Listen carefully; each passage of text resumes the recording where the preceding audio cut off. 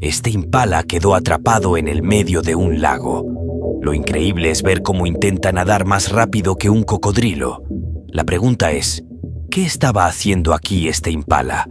Lo cierto es que está consciente del peligro que corre. Se puede ver cómo está atento al cocodrilo que lo rodea. Cuando este reptil sale del agua, el antílope ve una oportunidad de escapar nadando. Está claro que no podrá hacer mucho al intentar escapar nadando de un cocodrilo.